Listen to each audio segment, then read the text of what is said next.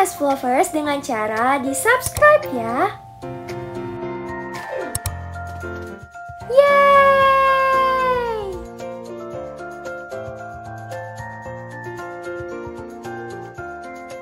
Hai teman-teman, kembali lagi bersamaku Stereo Flow. Jadi, pada video kali ini aku akan memberikan beberapa inspirasi outfit sesuai dengan profesi yang ada di XDRP. Maaf jika ada outfit yang tidak sesuai dengan profesi ya. Anyway, pakaian-pakaian baru ini bisa kalian dapatkan secara gratis di update terbaru loh. Jadi, buat kalian yang belum update, segera di-update ya. Selain item gratis, aku menggunakan item eksklusif juga dan aku rekomendasiin banget untuk kalian beli karena itemnya itu cakep-cakep banget loh dan bisa kalian beli dengan uang asli seharga 14.000 aja guys. Oke, langsung aja yuk. Aku bakalan kasih tunjuk outfit-outfitnya sesuai dengan profesi ya. Langsung aja pergi yang pertama. Let's go! Jadi, outfit pertama itu adalah pedagang ice cream, guys. Nah, di bagian plaza itu ada tempat jualan ice cream loh. Outfit ini cocok banget untuk dijadikan sebagai seragam penjual es krim. Tuh, guys, cocok banget kan? Dia kayak merah-merah dan warna putih gitu. Tuh, hihihi. Silahkan dicoba ya kalau kalian suka. Karena menurutku ini cakep banget sih. Yang kedua itu adalah pakaian polisi. Nah ini dia guys, buat kalian yang cowok-cowok, kalian tinggal ganti aja ya bagian roknya menjadi celana gitu. Untuk item lainnya ini kayak gini ya, tuh. Not bad lah untuk seragam polisi bukan? Oke, yang ketiga tadi kan uh, seragamnya polisi guys. Dan sekarang menurut aku ini seragam sheriff loh. Tapi kurang tahu sih ini pastinya seragam apa ya. Tapi menurut pandangan aku ini adalah seragamnya sheriff gitu guys. Buat cowok sama aja ya diganti aja untuk bagian roknya Oke lanjut lagi. Ini adalah pakaian kriminal atau tahanan tuh. Tapi keren juga sih kalau dilihat-lihat ya guys walaupun kriminal. Karena warnanya itu kan um, hitam dan putih ya Jadi keren banget sih menurutku. Tapi minusnya pada pakaian ini pada bagian topinya guys Karena tembus gitu loh. Jadi sayang banget ya. Tapi nggak apa-apa sih untuk bajunya oke. Okay. Nah lanjut di sini adalah petugas kebersihan. Tapi kurang tahu sih ini sebenarnya baju apa? Oh, ini baju ini nggak sih pemadam kebakaran, guys?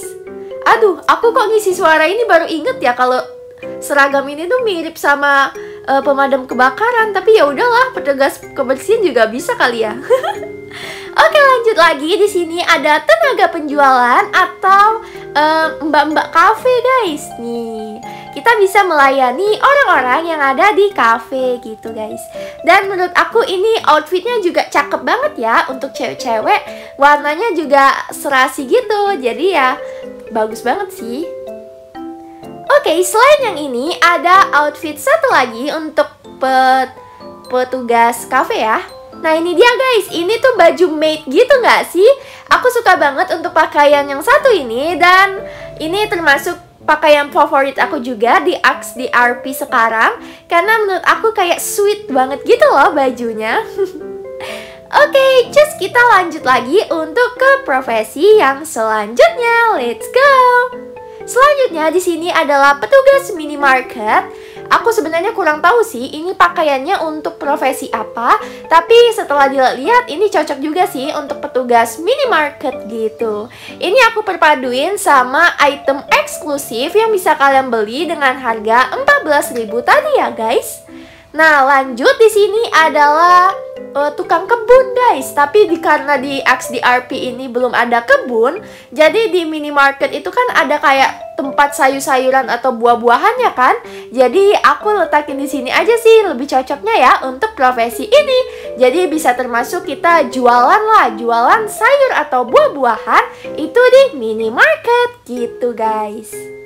Lanjut lagi di sini adalah profesi pembalap ini kayaknya pembalap motor ya guys, tapi ini ada kayak pelangi-pelangi gitu. Aku takutnya ini melambangkan LGBT nggak sih? Ya ampun, ini makin hari ya macam-macam game itu udah mengandung unsur itu loh guys. Astaga, emang akhir season. Oke, di sini aku mengeluarkan lihat nih guys, keren banget kan ini mobil aku, mobil balap. Kita langsung aja balap-balapan di sini guys. Aduh. Lanjut, ini menurut aku masih mengandung unsur balapan juga ya Tapi ini juga jadi kayak tukang delivery juga nggak sih? Kalian tahu nggak tukang delivery itu apa? Yang kayak ojek gitu loh um, Apa ya guys? Ojol gitu kan Nah tapi di sini aku menggunakan mobil Jadi kita anggap aja kalau baju ini sebagai baju uh, orang balapan ya guys tuh Kita menggunakan mobil ini guys Widih keren banget gak sih? Kalau punya mobil ini di kehidupan nyata udah kayak sultan banget, asli dah. Tapi di sini di XDRP, waduh, keren banget ya guys. Nah, kalau kalian mau mobil ini juga, kalian bisa beli aja guys untuk paket-paket mobil-mobilnya ya. Oke lanjut lagi, ini aku anggap sebagai bajunya security guys Security ya gitulah ya Yang penjaga bank guys. Atau satpam ya, lebih mudahnya satpam tuh. Tapi sebenarnya aku juga kurang yakin sih Ini profesi apa. Buat kalian yang kalau misalnya tahu bisa di komen ya guys.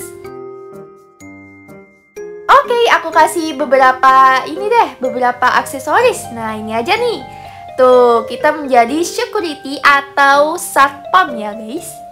Oke, cus lanjut lagi yuk Profesi selanjutnya ini adalah resepsionis atau eh, mbak-mbak uh, uh, yang melayani bank guys Atau customer yang ada pada bank gitu ya. Nah di sini, aduh, aduh, nggak bisa dilihat dari depan ya, sayang banget.